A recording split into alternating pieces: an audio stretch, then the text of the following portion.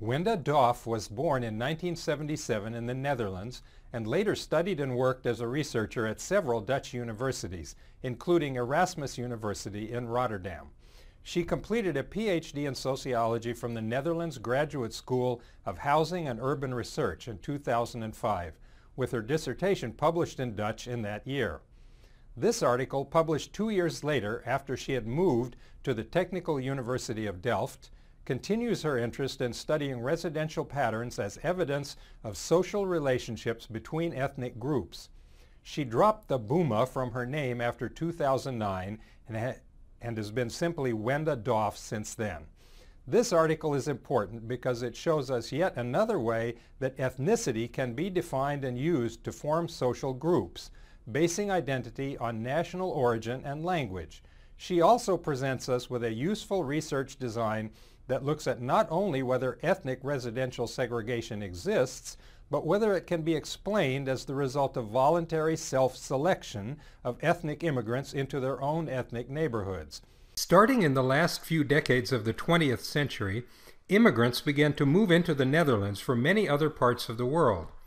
A lot of this migration can be traced back to the colonial period in the 19th and early 20th centuries when there were Dutch colonies in the Caribbean, in Africa, in Indonesia, and other parts of the world. The ties between the Netherlands and these former colonies stimulated the flow of immigrants. As their numbers increased, so did social tensions and resulting residential segregation from the native-born Dutch population.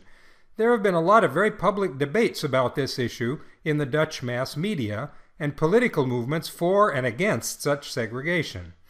Bouma-Doff mentions one of the common opinions about ethnic segregation of immigrants in the Netherlands, that this segregation is voluntary self-selection based on shared interests and a desire for a sense of community with people from one's own cultural background. The Dutch expression is soort zoekt soort, or as Bouma-Doff translated, birds of a feather flock together. She wrote this article to test whether such an explanation fits the facts of everyday life in Dutch cities.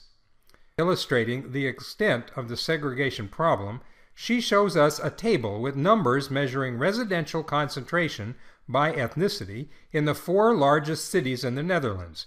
These numbers represent our old friend the index of dissimilarity again, so each value in the table shows the share of that ethnic group that would have to relocate to a different area within the city in order to have the same distribution across the city as the native-born Dutch population there. Groups from the Middle East and North Africa, Turks and Moroccans, are the most segregated, while the groups from the Caribbean and coastal South America, Antilleans and Surinamese, are slightly less segregated from the native Dutch in these cities. This level of ethnic segregation certainly seems to call for some kind of explanation. She cites a number of writers who subscribe to the voluntary self-segregation idea, and we also have seen this same idea put forward to explain the separation of Protestants from Catholics in Belfast, Northern Ireland. Bouma-Doff also raises some objections to this self-segregation explanation. She points to studies of racial segregation in other countries especially to the large body of research about black-white segregation in the United States. Such studies have documented larger structural forces in society that contribute to ethnic segregation as a residential outcome. One of the most well-known involved the policy of redlining by banks and other mortgage lenders who identified what they called high-risk areas in cities where they chose not to make loans to people. These areas generally had high concentrations of ethnic minorities, as well as being poorer parts of the city. For the first half of the 20th century, it was even legal to write racial exclusion clauses directly into contracts of sale for houses, by which buyers agreed not to sell the house to minorities in the future. After this practice was outlawed by the courts, real estate agencies and banks continued to find new ways to split up the residential market by race and to maintain the segregated character of cities. Such segregation might be seen as deliberate and voluntary, but the agents who were voluntarily segregating the city were institutional actors, not the minority residents themselves. So we have at least some grounds to be skeptical of the self-segregation hypothesis, and that is all Bouma-Doff needs to get busy with her research. She develops a research plan with several steps or stages. First, she will find out how much ethnic segregation actually exists in these Dutch cities. That is what she showed us with the first table we've already examined. Second, she will find out how much of this segregation might be due to other factors that also produce segregation, quite separately from any consideration of ethnic identities. If the different ethnic groups also are different in terms of such other segregation producing factors, there might not be any actual ethnic effect at all. We will consider what she discovers about this in the second part of the lecture. Finally, she will find out whether the segregation that may exist, unexplained by other factors, can be explained by preferences and voluntary choices of the different ethnic populations themselves. We will see what she discovers about this self-segregation argument in the third part of the lecture. But even before we go on to such issues, it is worth pointing out the basic logic that she will follow in order to test that idea. Her approach is very simple she will look at self-reported measures of residential preferences for the different immigrant groups captured by their responses to sample surveys and compare those results to the way they actually live. If their living arrangements match their self-reported preferences, then she will judge such segregation to be voluntary self-segregation. If their living arrangements do not match their self-reported preferences, she will judge such segregation to be involuntary forced segregation, which makes it a social problem, calling for public discussion and perhaps even public policies. Test any of her ideas, Bouma-Doff needs to find some empirical evidence about characteristics of immigrant populations in the Netherlands, so she could compare the social and economic makeup of these groups to the native-born Dutch population. She settled on two surveys to supply this information. For the immigrants, she used a 2002 survey whose title translates to Immigrant Social Position and Use of Services. These interviews with immigrants included a lot of information about detailed social characteristics. To compare the immigrant groups to the native born Dutch, she got hold of the Netherlands Kinship Panel Study survey dataset, which provided her with all the same kinds of measures for the native born population of cities in the Netherlands. So, what kind of characteristics did she think might explain observed residential segregation, quite apart from ethnicity of immigrants? There's already a very large research literature showing that people tend to be segregated from each other, to some extent in contemporary cities, based on a number of other factors. For example, because some neighborhoods were built at different times from others, the people who moved into one neighborhood at one point in time will tend to grow old there together, while people moving into a newer area will tend to be younger on average.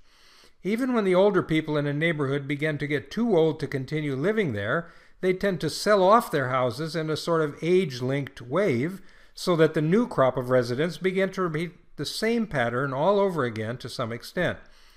This also means that some neighborhoods will have a lot of children at one point in time, but maybe very few later, and that this local concentration of children will shift around across the city as these processes unfold.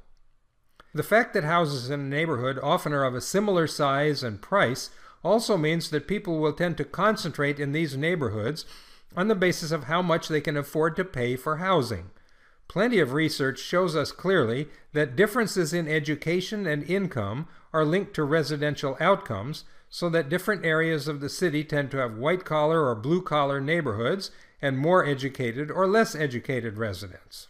In other words, birds of a feather flock together on the basis of all these other factors, such as age, stage of the family cycle, education, and income, as well as possibly on the basis of shared ethnicity. If one particular group of immigrants who shared such an ethnic identity also happened to share similar characteristics in terms of these other factors, it might well be that only this other kind of sorting out is actually happening. Wenda Bouma-Doff knows that before she can talk about any specifically ethnic segregation, she first has to rule out these other possible explanations. So we might say that her first null hypothesis, which she has to disprove before she can move on to study ethnicity itself, would assume that there is actually no such ethnic segregation once we look within categories of rich and poor, young and old, educated and uneducated, single and married, parents and non parents, and so on. She has to compare apples to apples in this sense so that any residential segregation she tries to explain can't be accounted for by these other factors. Using the data from a 2002 Dutch housing demand survey, then, she creates a model that explains the concentration of people in certain neighborhoods using these controls to predict where they will live. She fits this model to the native-born Dutch population to find out how these other factors will concentrate even the Dutch themselves in poorer neighborhoods when they have less education and income, and the like. After all, these other factors sort out even the native-born Dutch and put them in different neighborhoods based on their age, family status, education, and income. Then she takes this pattern of sorting out by the other factors that she observes for the native-born Dutch and applies it to the immigrant populations, also sorted out by the same factors. So if the least educated Dutch are likely to show up in certain neighborhoods, she assumes that the least educated people in each immigrant group should have exactly the same chance to wind up in the same neighborhoods. If more of the immigrants fall into that least educated category, more of them will show up in the neighborhood, but that will be due to their education, not to their ethnic identity. This statistical model produces predicted shares of each immigrant group that should appear living in different neighborhoods of the cities in the Netherlands. If these predicted shares match the actual shares of these groups found there, then we have nothing left to explain. Their residential distribution would be purely a matter of these other characteristics, not of their ethnicity as a separate factor. On the other hand, if those predicted residential concentrations are not the same as what we actually observe, then we, then we very well might be able to claim that such differences measure an actual ethnic segregation effect independently of all these other possible effects. When we look at figure 1 in her article, we can see clearly that the amount of ethnic segregation or concentration that we might expect based only on the immigrant's lower education or income, or differences in family circumstances, falls far short of the actual ethnic concentration observed in the Netherlands. The native Dutch obviously are just about where they're predicted to be, since their residential patterns served as the template for predicting the other groups. But the expected concentration of these other groups in such neighborhoods, given only their other social characteristics, would not have been that much higher than that observed or expected for the Dutch themselves. In contrast, the actual observed concentration of all four ethnic populations is much higher than what was predicted from only these other characteristics. The gap between the two sets of bars in this graph for each immigrant group measures segregation that can't be explained as due to differences in age or in marital status or in parenthood or in education or in income. There is definitely something else going on in these cities. But Bouma-Doff's original question is still hanging out there unanswered.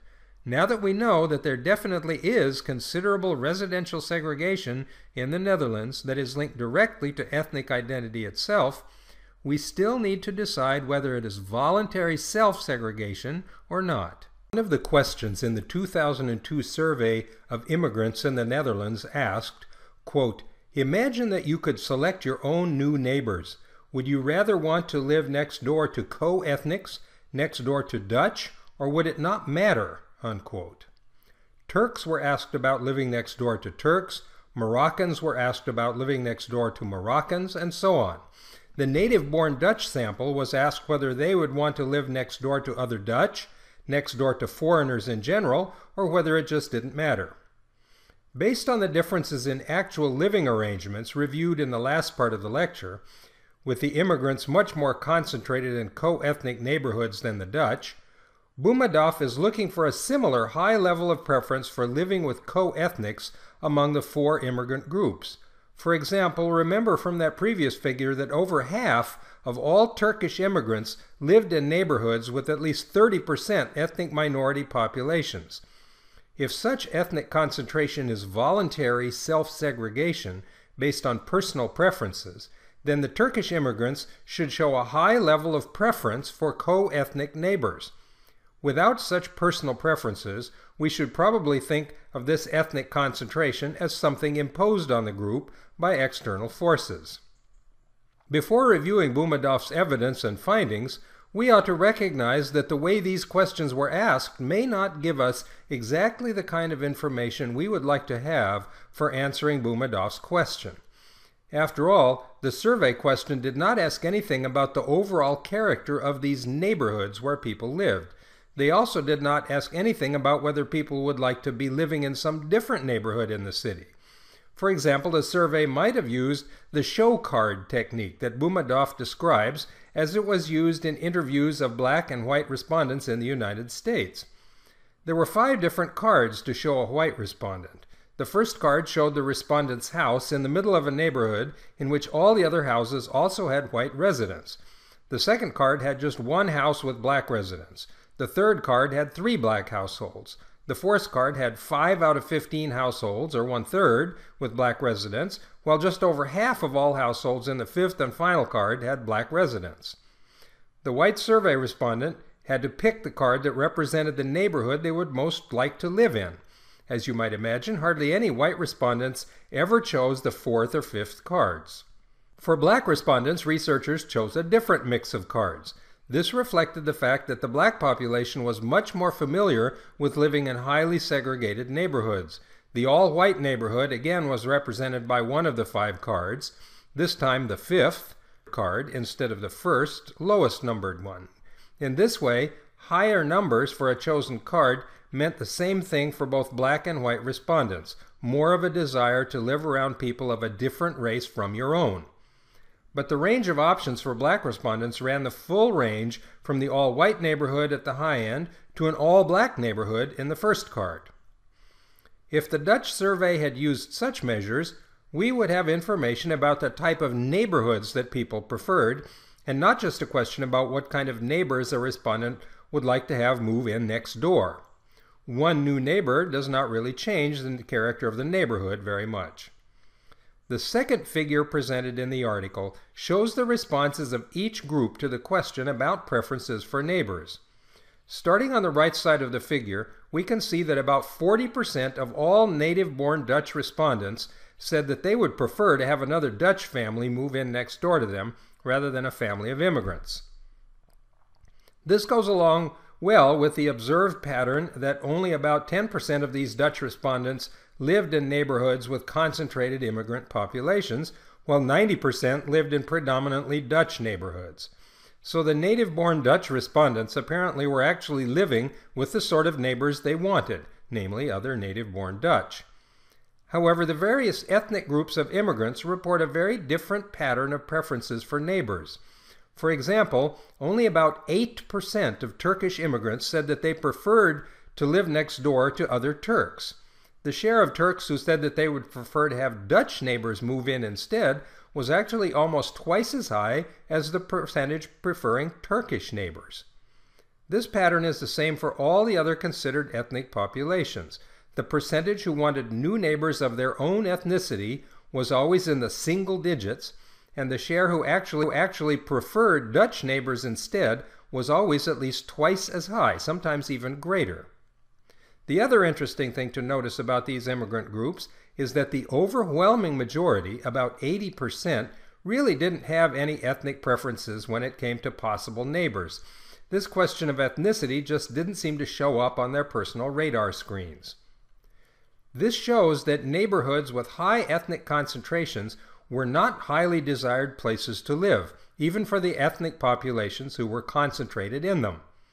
Since these immigrant populations all included much higher proportions than for the native-born Dutch of people with low levels of education, low income, and other social and economic disadvantages, clearly visible in Table 3 in the article, the neighborhoods where they tended to settle were not generally the best parts of these cities. Most of the immigrants showed a strong preference not to live only with people from their own ethnic group, and more of them who expressed an actual preference chose Dutch neighbors instead. A related detail about these immigrant attitudes emerges from the more detailed results in tables 4 and 5 of the article and in Bouma-Doff's discussion of those results. She points out that when we consider the family circumstances of respondents, we see a very significant pattern among native born Dutch respondents. The Dutch who are married and living with children are much more likely to express a preference for Dutch neighbors, while people living without partners or children appear less concerned about flocking together with other Dutch. In contrast to this result, immigrants, particularly from Turkey and Morocco, were actually less likely to prefer co-ethnic neighbors if they were married and had children. They apparently wanted their children to experience the benefits of regular Dutch neighbors and neighborhoods. The conclusion to be drawn from these results seems clear to Wenda Bouma-Doff, and perhaps it also seems clear to you. The concentration of ethnic immigrants into certain segregated neighborhoods in these four Dutch cities can't be explained by the expressed preferences of the immigrants themselves to live with their own kind. If they could have their way in terms of preferences, they clearly would be living close to a lot more Dutch neighbors. Only a small part of this concentration in ethnic neighborhoods can be explained by other social and economic features of the immigrants' lives, such as their educational attainment, family status, or income. The only conclusion left is that the major part of this ethnic segregation in Dutch cities has been imposed on these immigrant groups by larger structural forces operating in the Netherlands, and that it is not voluntary but forced segregation in this sense.